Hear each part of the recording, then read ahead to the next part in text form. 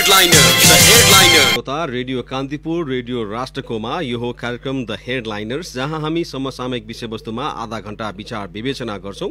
कार्यक्रमको नयाँ श्रृङ्खलाका साथ उपस्थित भएको छु मेरो नाम हो पवन। आज पनि तपाईँसँग प्रत्यक्ष र परोक्ष सरोकार राख्ने विषयवस्तुलाई उठाउने जमर्को गरेका छौँ।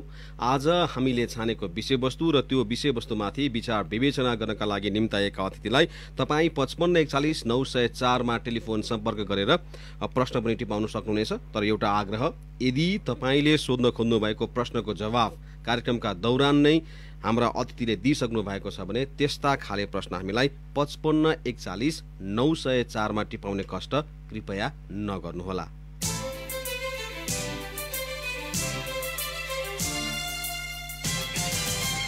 त लागौँ आजको विषयवस्तुतर्फ हामी अहिले जताततै corona corona corona corona corona भनेको मात्रै सुन्छौँ। तरै पनि हामीलाई यो कोभिड नाइन्टिन सङ्क्रमणका बारेमा एकदमै कम ज्ञान भएको जस्तो देखिएको छ। सङ्क्रमण कसरी सर्छ? सङ्क्रमित व्यक्तिहरूमा के खालको असर हुन्छ? र सङ्क्रमणको जोखिम कुन कुन क्षेत्रमा छ? कसरी सङ्क्रमणको जोखिमबाट टाढा बस्ने भन्ने बारेमा डाक्टर साहबहरूले चाहिँ तपाईँ बाहेक अरू सबैलाई कोरोना सङ्क्रमण छ भनेर चाहिँ बुझ्नुपर्छ त्यसरी सावधानी अप्नाउनु पर्छ भनेर भन्नुहुन्छ। तर त्यसको मतलब हामी के गर्छौँ भन्दाखेरि हामी सबैलाई अब सङ्क्रमित भएको आँखाले वा दृष्टिले हेर्न थालेका छौँ। र यो यो कोरोना सङ्क्रमित हुनु भनेको अभिशाप हो कि? अथवा ठुलै अपराध गरेको जस्तो खालको चाहिँ पनि दृष्टिले हेर्ने पनि गरिएको छ र पछिल्लो समय हाम्रो यही खालको मानसिकताको शिकार हुनुभएको छ। बालरोग विशेषज्ञ एवं चितवनको रत्नगर अस्पतालका medical superintendent doctor Bishwabandhu Bagale र उहाँलाई कोरोना सङ्क्रमित भएपछि र उहाँको श्रीमती जो भरतपुर अस्पतालमा कार्यरत हुनुहुन्छ उहाँलाई पनि को- कोरोना सङ्क्रमण भइसकेपछि समाजले जुन खाले व्यवहार प्रदर्शन गर्यो उहाँको अ, चितवनको भरतपुर महानगरपालिका चार स्थित घरमा जुन ब्यानर टाङ्ग लागि भनेर समाजका लब्ध प्रतिष्ठित व्यक्तिहरू नै आए। त्यसले एक खालको हाम्रो समाज हामी कति असहिष्णु हुँदै गइरहेका छौँ हामीले कोरोनालाई हेर्ने दृष्टिकोण कतिसम्म चाहिँ हामी एकदम हुन्छ नि अब अब अलिक भ्रमित छौँ भन्ने बारेमा पनि उजागर गरिदिएको छ त्यो घटनाले। र त्यो घटनापछि अहिले उहाँहरू होम आइसोलेसनमै रहिरहनु भएको छ। अब यतिखेर हाम्रो टेलिफोन सम्पर्कमा डाक्टर बगाले आइसक्नु भएको छ। उहाँलाई स्वागत गर्नु। नमस्कार डाक्टर साहब। यहाँलाई कार्यक्रममा स्वागत छ। नमस्कार आराम हुनुहुन्छ डाक्टर साहब? हजुर ठिकै छु। अहिले त अब होम आइसोलेसनमै हुनुहुन्छ होइन? हजुर म म घरमै चाहिँ छुट्टी बसिरहेको छु छु यो अब जस्तो तपाईँ अब हुन त अब यहाँले अरू अन्तर्वार्ताहरूमा पनि म त्यस्तो खासै भिडभाडमा पनि नजाने खालको मान्छे अनि अब चाहिँ बिरामीहरूसँग हेर्दाखेरि पनि अलिक सावधानी अप्नाउनु पर्ने अप्नाएको मान्छे भनेर भन्नुभएको छ। कसरी सङ्क्रमण चाहिँ जोखिममा पर्नुभयो यहाँ? अब ठ्याक्कै यही घटनामा म अलिकति जोखिममा परेँ भन्ने मलाई अन्दाज छैन। दैनिक जस्तो बिरामी हेर्ने काम भइराखेकै छ। अस्पताल सधैँ आउने जाने भइराखेकै छ। त्यो कारणले गर्दाखेरि अब अस्पतालको माध्यमबाट सर्यो अँ, बिरामीको माध्यमबाट कुनै मै जस्तै एसिम्टोमेटिक किन मलाई पनि कुनै लक्षणहरू थिएन। त्यो अन्दाज गर्दाखेरि चाहिँ त्यस्तो हुनसक्छ। अथवा त्यो बाहेक अरू दैनिक क्रियाकलापहरू चाहिँ अब जस्तो कपाल काट्ने ठाउँहरूमा अथवा अरू कुनै कोही कतैबाट चाहिँ सरेको हो कि भन्ने आएको लाग्यो तर कुनै जमघटमा जाने अथवा कुनै त्यस्तै खालको अलिकति सिम्टोमेटिक यो चाहिँ अलि सस्पेक्टेड कोभिडको पेसेन्ट हो कि भन्ने खालको चाहिँ बिरामी सम्पर्कमा आएको मलाई त्यस्तो ज्ञान चाहिँ छैन भनेको यहाँको श्रीमतीलाई पहिला चाहिँ सङ्क्रमण देखियो त्यसपछि यहाँले टेस्ट गर्नु भएको टेस्ट चाहिँ मेरो अघिल्लो दिन निकालेको हो आइतबार मेरो चाहिँ खास ऱ्यान्डम टेस्ट गरेको हो त्यो चाहिँ मलाई कुनै सिम्टम भएर अथवा शङ्का लागेर गरेको भन्दा पनि त्यहाँ हामीमा चाहिँ स्वास्थ्य कर्मीहरूको अवस्था के छ भन्ने कुरो थाहा नै छैन अहिलेसम्म पनि थाहा नै थिएन त्यो कारणले गर्दा अलिक पहिले एक दुई महिना अगाडि दुई महिनाकै अगाडि चाहिँ पन्ध्र बिसजना जो इमर्जेन्सीमा अनि दैनिक ओपिडीमा एकदम धेरै बिरामी हेर्ने डाक्टर साहबहरू अनि स्वास्थ्य कर्मीहरू अरू अस्पताल कर्मी सरसफाइ कर्मीहरू सबैको चाहिँ पन्ध्र बिसजना जति मात्रै निकाल्न सकेका थियौँ हामी अस्सी नब्बेजना स्टाफहरू छौँ। अनि त्यो दिन चाहिँ बिरामी एकजना ज्वरो आएको बिरामी इमर्जेन्सीमा आएपछि त्यहाँ ड्युटी चाहिँ उहाँको स्वाब पठाउनु भइदियो भनेपछि ठिकै छ पठाउँ भने अनि ल्याबको साथी चाहिँ। अलिअलि ऱ्यान्डमली हाम्रो पनि हेर्नु पर्ने भएछ र अब यो यस्तो खालको चाहिँ परिस्थिति आइरहेको छ। धेरै लोड पठाउँदाखेरि त ल्याबमा पनि गाह्रो हुन्छ। दुई तिनजना तिन चारजना पठाउँ त्यसमा अब तपाईँ पनि एक्सपोज भइरहनु भएको छ बिरामी पनि हेर्नु भएको छ अरू प्रशासनिक कामहरू पनि भइरहेको छ मान्छे भेटघाट पनि भइरहेको छ। त्यो कारणले गर्दाखेरि चाहिँ तपाईँको पनि पठाउँ म पनि ल्याबमा पनि अब मेरो पनि त्यस्तै खालको चाहिँ परिस्थिति भएको हुनाले मेरो अनि अर्को एकजना भएर हामी चारजना बिरामी सहित हामी तिनजना स्टाफको गरेर चारजनाको स्याम्पल पठाएकोमा मेरो चाहिँ पोजिटिभ आयो अरू बाँकी उहाँ तिनजनाको चाहिँ नेगेटिभ आएको थियो।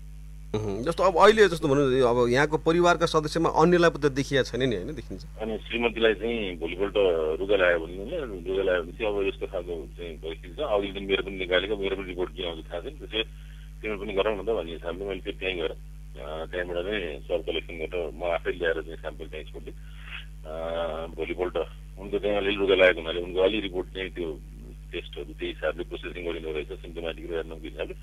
उनको चाहिँ अलिक टाढो रिपोर्ट आयो। भोलिपल्ट गरे पनि मेरो चाहिँ लगभग उनको रिपोर्ट आएको बाह्र घन्टापछि चाहिँ आयो अनि लगभग एकैचोटि जस्तो नै भयो हामीलाई खासै उनलाई चाहिँ सिम्टम अलिअलि सामान्य रोगहरू देखिएको थियो मलाई चाहिँ त्यो पनि देखिएन अनि घर घर परिवारमा को को हुनुहुन्छ घर परिवार हामी तिनजना छौँ म श्रीमती र बच्चा बच्चा एघार वर्षको छ उसको चाहिँ नेगेटिभ आएको छ भनेको अब यो अब एउटै घरमा बस्नेलाई पनि अब नसर्ने रहेछ होइन भनेको बच्चा त मसँग एकदमै धेरै कन्ट्याक्टमा छ फेरि सबभन्दा धेरै कन्ट्याक्टमा भयो भने अहिले श्रीमती हुँदा पनि बच्चाले ऊ त सँगै बस्ने सँगै खाने सँगै चाहिँ सुत्ने सँगै टेलिभिजन हेर्ने अब छ अहिले धेरै अब धेरै अस्पतालतिर पनि अहिले धेरै दौडधुप नभएको हुनाले घरमै बसिरहँदाखेरि चाहिँ झन् बच्चा चाहिँ बढी कन्ट्याक्टमा छ मसँग। त्यो हिसाबले चाहिँ अब उसको पनि लगभग पोजिटिभै चाहिँ उसको रिपोर्ट आउला कि भन्ने मलाई त्यो शङ्का पनि थियो तर हाम्रो कन्ट्याक्टमा भएको अरू सबैलाई हाम्रो पोजिटिभ आइसकेपछि हामीले तुरुन्तै नै सबैजनालाई फोन गरेर हाम्रो रिपोर्ट यस्तो आयो।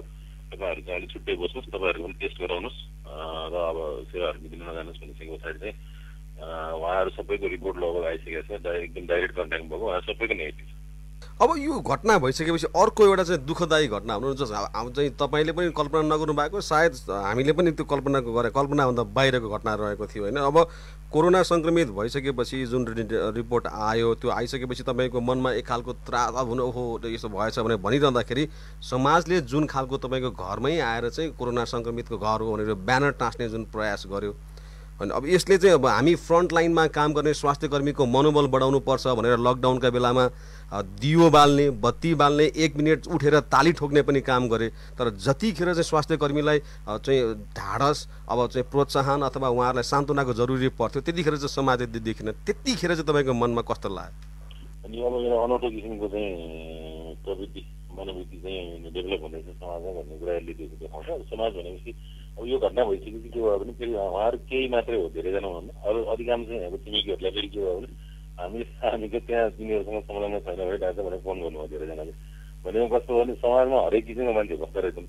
धेरै अधिकांश राम्रा मान्छे नै छन्। केही मान्छे यस्तो खालका छन् कि उनीहरूको प्रवृत्ति उनीहरूको गतिविधिको कारणले गर्दाखेरि चाहिँ समाज त्यतितिर डोरिरहेको जस्तो महसुस हुन्छ हामीलाई पनि। उनीहरू आइसके पछाडि मैले चाहिँ प्रतिवाद नगरेको भए उनीहरू जाने जान्थे तर मैले उनीहरू सोध्नु चाहिँ म हामी अनुमति लिन आएको भन्थ्यो। अब अनुमति के चिजको लागि लिने हो? के चिजको लागि जरुरी छ कि छैन? भन्ने कुरा चाहिँ उहाँहरूलाई त्यो हेका भयो कि भनेर थाहा छैन मलाई।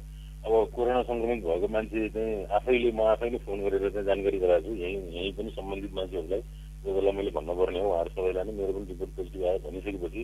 अब फेरि ब्यानर बोकेर मेरो अनुमति खोजेर चाहिँ टाल्नलाई मेरो अनुमति लिन हिँड्नुपर्ने हो कि होइन त्यो म उहाँहरूलाई नै प्रश्न गर्न चाहन्छु। अब त्यो चाहिँ अनुमति लिन आउनुपर्ने थियो कि अथवा उहाँहरूले चाहिँ तपाईँको दैनिक उपभोगको सम- समस्याहरू केही छन् कि? दैनिक अरू मानसिक समस्याहरू केही छन् कि? अरू तपाईँको अप्ठ्यारो चाहिँ थियो कि? बच्चाको अवस्था कस्तो छ? रिपोर्ट कहिले आउँछ? यस्ता कुराहरू सोध्नु पर्ने थियो कि? ब्यानर बोकेर तपाईँको अनुमति लिएर चाहिँ टाल्न आएको भनेर चाहिँ ब्यानर कोरोना सङ्क्रमित देखेको चाहिँ ब्यानर बोक्दै हिँड्नुपर्ने थियो। त्यो चाहिँ अब उहाँहरूले हामीले अनुमति लिएको भन्नुहुन्छ अरे कसैले कसैले हामी गएकै थिएन त्यसै भने दायित्व भन्नु अरे? अब अझै पनि मैले चाहिँ के भनेको भने कम्तीमा रियलाइज गर्नुहोस्। रियलाइज गर्नुहोस् यो चाहिँ अब जान अनजानमा चाहिँ गल्ती हुनसक्छ मान्छेहरूबाट अब गरिसक्नु भएको भए पनि उहाँहरूलाई मेरो भन्नु केही छैन। ठिकै छ। म मेरै अगाडि आएर चाहिँ उहाँहरूले एकदम त्यो हिसाबले चाहिँ "ए, हामीले यस्तो ठुलो गल्ती गऱ्यौँ भन्नु भन् भन्नुहोस् भन्ने मेरो चाहना पनि छैन।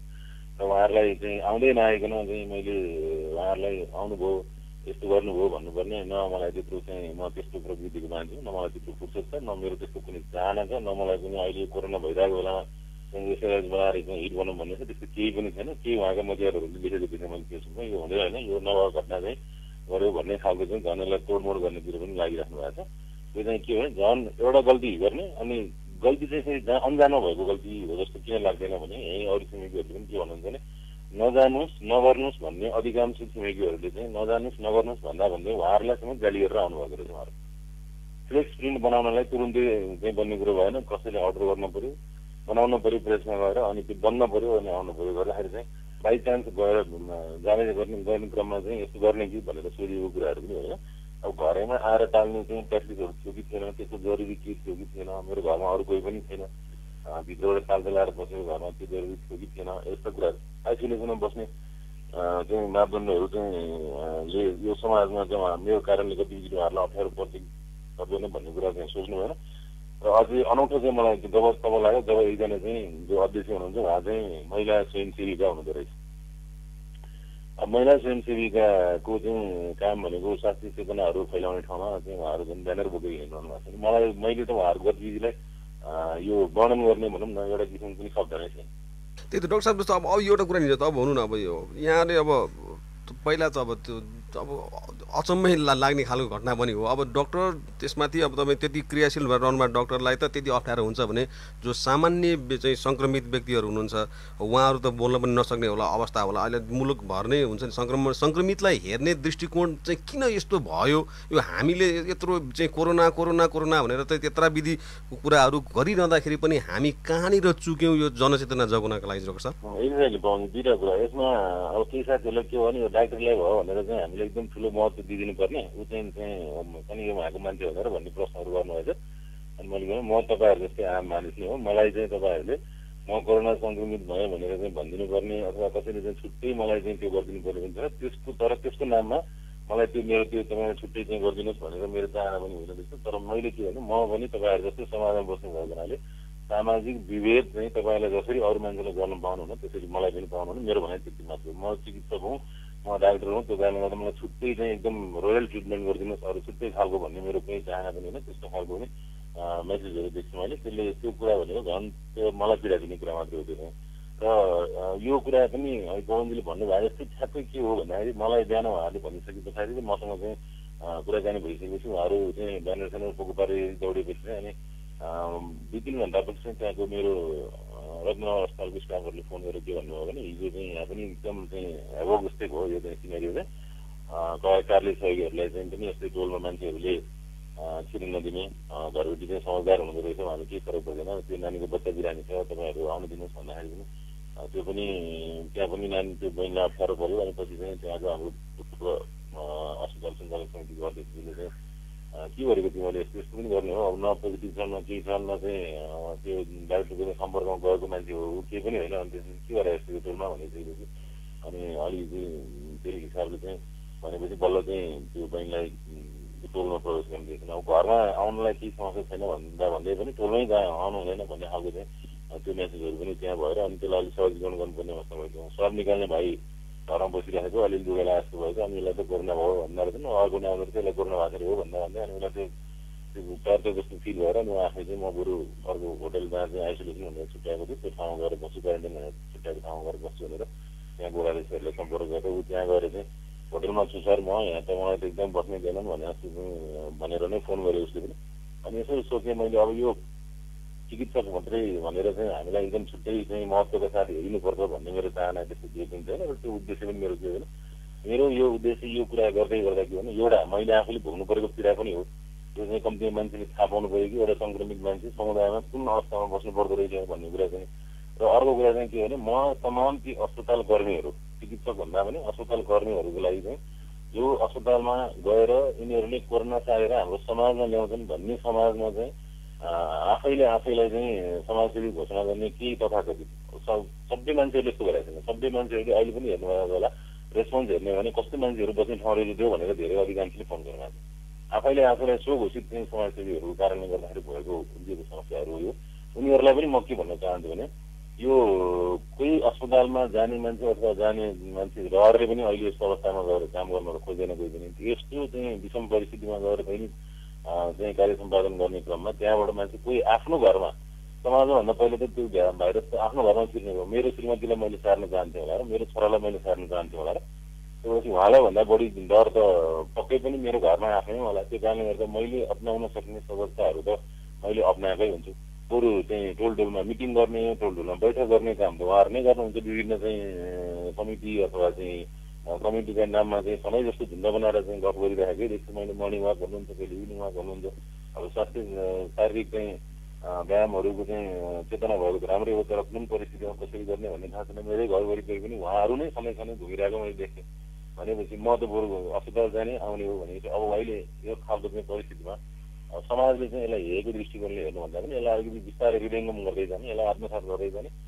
तर स्वास्थ्य सुरक्षा अप्नाउनु पर्ने विषयमा चाहिँ जिरो टोलरेन्स दिनुपर्छ समाजको मान्छेले पनि कोही मान्छे खुल्लम खुल्ला हिँडिरहेको छ मास्क लगाएको छैन बाहिर भित्र राम्रोसँग बसेको छैन उसको कारणले गर्दाखेरि समाजमा चाहिँ समस्या हुने जस्तो छ भने त्यसमा यो यति यस्तो मात्रै पनि योभन्दा अझै ठुलो गतिविधि गर्नु गर्नुपर्छ र त्यो गर्नुपर्छ गर्नुहोस् भन्छु म उहाँहरूलाई। तर जो मान्छे भित्र बसिरहेछ ताल चलाएर बसिरहेछ सङ्क्रमितै हो भन्ने बाहनामा चाहिँ यस्तो कामहरू गर्दाखेरि चाहिँ मानिसलाई अनेक किसिमको चाहिँ मानसिक समस्याहरू हजुर हजुर। डाक्टर साहब जस्तो अब यो अब यहाँले भन्नु भने होइन अब म त घरमा चाहिँ भित्रबाट ताल चलाएर बसिरहेको छु आइसोलेसनमा बसिरहेको छु भनेर अब यो सरकारले पनि अब चाहिँ हुन्छ नि अब अस्पतालका बेडहरू भरिन थालिसकेपछि अब होम आइसोलेसनको विकल्प छैन भनेर भनिरहेछ। आफ्नै घर हुनेलाई त आइसोलेसनमा बस्न सजिलो होला तर जो जो मानिस भाडामा बस्नुहुन्छ उहाँहरूलाई त अब अप्ठ्यारै हुन्छ होला नि फेरि। हो त्यही भने नि त्यहीजना चाहिँ बहिनी कार्य चाहिँ भाडामा बस्ने रहेछन् घरहरूले ठिकै छ त्यो फरक हुँदैन नानीको बच्चाले बिरामी छ त्यो ऊ आएर मलाई केही समस्या छैन भन्दा रहेछन् अनि टोलमा चाहिँ के चाहिँ यस्तै दुई चारजना सो घोषित होला नि सायद अनि उनीहरूले चाहिँ भने यहाँ कहाँ त्यहाँ अस्पतालबाट आएको त्यहाँबाट कोरोना लिएर आउँछ यहाँ भन्ने खालको भएपछि अब गाउँतिर कतै भइदियो भने कोही मान्छेलाई खानपिनमा दैनिक जीवनयापनमा कति कठिनाइ होला। भन्ने हिसाबले यो चाहिँ कस्तो हुनु पऱ्यो भने कम्तीमा स्वास्थ्य सुरक्षा अप्नाउने कुरा एउटा हो। समाजले मान्छेलाई ग्रहण गर्ने कुरा एउटा हो। धेरै पहिला हामीले सुन्थ्यौँ कुष्ठरोग लागेको मान्छे लडेर जङ्गलमा छोडिन्थ्यो त्यो जङ्गलमै लडेर छोडिन्छ त्यहीँ बाँचे बाँच्छ मरे मर्छ भन्ने खालको चाहिँ एउटा त्यो खालको चाहिँ व्याख्या थियो पहिला। बिस्तारै बिस्तारै त्यो एउटा यस्तो गर्नु हुँदो रहेछ यसरी सर्दो रहेछ भन्ने खालको हो।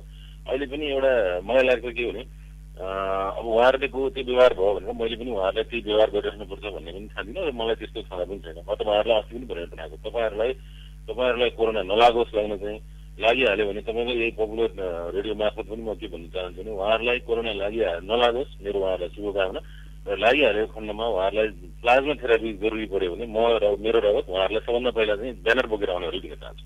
अँ, त्यो कारणले गर्दाखेरि चाहिँ कम्तीमा चाहिँ यो समाजमा झन् त्यो खालको चाहिँ डिजिज भयो कि त्यही सङ्क्रमित कोही मध्येको चाहिँ रगतहरू निकालेर उपचार गर्ने विधि नै अहिलेसम्मको पत्ता लगाएको विधि मध्येमा चाहिँ इफेक्टिभ मध्येको एउटा विधिको रूपमा चाहिँ यसलाई लिइएको पनि छ भनेपछि उहाँहरूसँग मेरो रिस राखेको पनि त्यस्तो केही छैन घरमा बस्ने मान्छेहरूलाई अप्ठ्यारो हुन्छ म जतिको चाहिँ सहज हिसाबले बस्ने अवस्था सबैजनाको नहुन सक्छ म जतिको स्वास्थ्य सुरक्षा अप्नाएर काम गर्ने खालको परिपाटी सबैको नहुन सक्छ कति चाहिँ मानिसहरू चाहिँ फोहोर मैला व्यवस्थापनमा काम गर्नुहुन्छ कति चाहिँ डाइरेक्ट चाहिँ ल्याबमा चाहिँ काम गरिराख्नु पर्ने हुन्छ यस्तो खालको चाहिँ अस्पतालमा पनि फरक फरक प्रकृतिको काम हुन्छ म चाहिँ भएको हिसाबले अलिकति चाहिँ अरूलाई भन्दा केही सहज पक्कै पनि थियो होला केही सुरक्षा अप्नाउन अलिकति सजिलो पक्कै थियो होला धेरै एक्सपोजर पनि अरूको तुलनामा थिएन होला। त्यति हुँदा हुँदै त आयो भनेपछि झन् दैनिक त्यसरी चाहिँ अझै बढी एक्सपोज हुनुपर्ने मानिसहरूलाई झनै जोखिमको जोखिम बढी छ। अनि बसाइको अवस्थाहरू पनि त्यस्तो खालको चाहिँ सहज नभएको मानिसहरूलाई झनै अप्ठ्यारो हुन्छ। त्यो कारणले गर्दाखेरि चाहिँ यस्तो खालको परिपाटीहरू कहीँ पनि नगरिदिनु होला भन्ने भन्न चाहन्छु। हजुर यहाँ आउँछ रेडियो कान्तिपुर रेडियो राष्ट्रकोमा। कार्यक्रम हो द हेडलाइनर्स र द हेडलाइन्समा आज हामी डाक्टर विश्वबन्धु बगालेज्यूसँग कुराकानी गरिरहेका छौँ। उहाँ चितवनको रत्ननगर अस्पतालका मेडिकल सुपरिन्टेन्डेन्ट हुनुहुन्छ र उहाँ बाल रोग विशेषज्ञ पनि हुनुहुन्छ।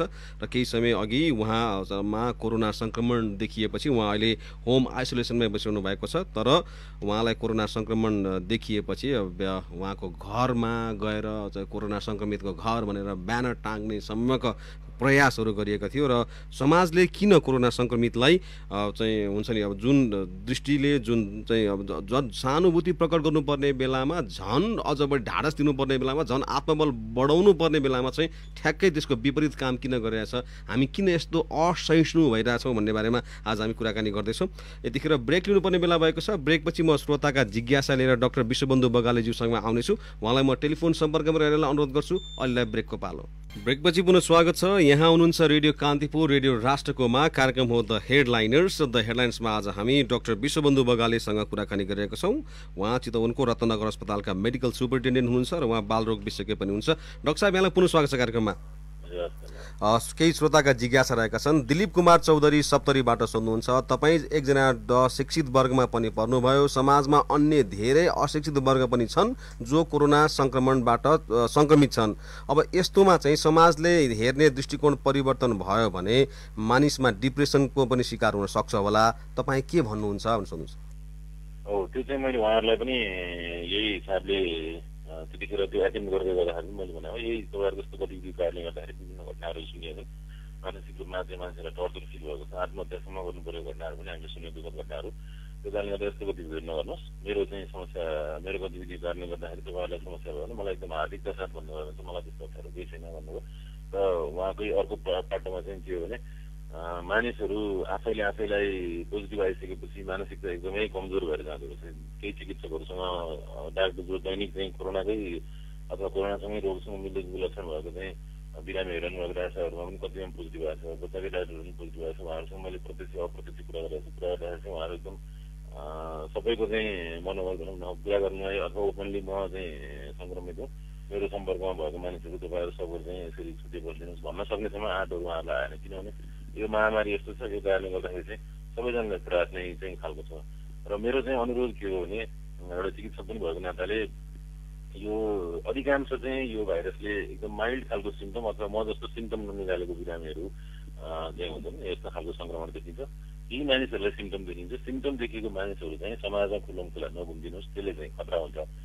र समाज सिम्टम्सहरू आएको चाहिँ लगभग अस्पतालको सम्पर्कमा गएर अस्पतालमा बस्नुपर्छ। र सिम्टम नभएको मानिस चाहिँ नआत्तिनुहोस् तपाईँलाई केही हुँदैन यो चाहिँ यसको चाहिँ एउटा जुन खालको शरीरमा प्रवेश गर्यो आफ्नो आत्मबल डर राख्ने अनि अहिले भने जस्तै चाहिँ आफूलाई चाहिँ अलिकति रिल्याक्स राख्ने अनि सामान्य चाहिँ अरू चाहिँ घरायसी कामहरू चाहिँ आफ्नो हिसाबले गर्ने गर्दाखेरि र आफूलाई एकदम शान्त राख्दाखेरि चाहिँ बिस्तारै बिस्तारै यसको एउटा प्रोसेस हो त्यो चाहिँ पाँच सात दिन आठ दस दिन दुई हप्ता बढीमा तिन हप्तासम्ममा यो भाइरसको असर चाहिँ आफै हराएर जान्छ घरमै बस्दाखेरि पनि आफूले अरूलाई सार्छु कि भन्ने हिसाबले चाहिँ जतिखेर पनि सजग चाहिँ हुनु पऱ्यो एउटा ह्यान्डल समात्दादेखि लिएर एउटा चुगुल लाउँदा चुगुल खोल्दादेखि लिएर एउटा ग्लास समात्दा प्लेट समात्दा चम्चा समात्दा सबै चिज दैनिक चिजहरूमा दैनिक जुन हामीले गरिरहेको कामहरूमा त्यो गर्नु। तर यसलाई एकदम मानसिक चाहिँ हिसाबले मलाई कोरोना भयो अब म मर्छु कि क्या हो म चाहिँ एकदम चाहिँ बिरामी भएँ ठुलै रोग लाग्यो मलाई भन्ने हिसाबले चाहिँ सङ्क्रमितहरूले पनि दिन जरुरी छ र समाजमा पनि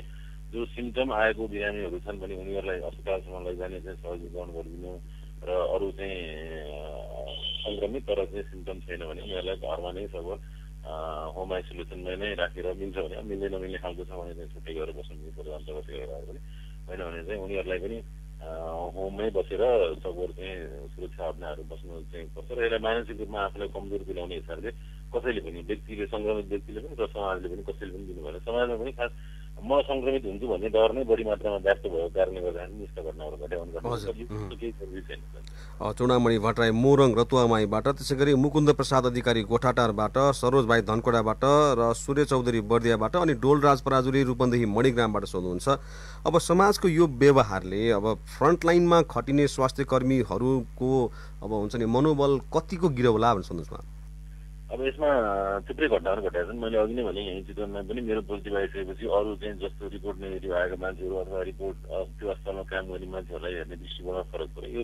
यो फेरि पनि यहाँहरूलाई यो चाहिँ यहाँको पपुलर रेडियो रेडियो मार्फत चाहिँ म के चाहिँ जानकारी गराउन चाहन्छु र के अनुरोध गर्न चाहन्छु भने यसलाई एकदम सामान्य रूपमा लिनु होला। यसलाई चाहिँ एकदम धेरै चाहिँ यो मान्छेहरूले सार्ने भयो भन्ने खालको चाहिँ सोचहरू राखिने भयो समाजमा भने त्यसले चाहिँ झन् चाहिँ सङ्क्रमितलाई पनि गाह्रो गर्छ हामीलाई पनि गाह्रो गर्छ।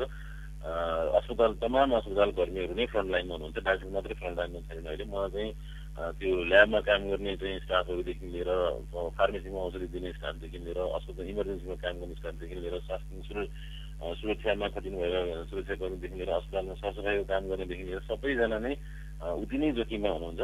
त्यो कारणले गर्दाखेरि सबैजनाकै आत्मबलको कुराहरू जोडिन्छ यसमा।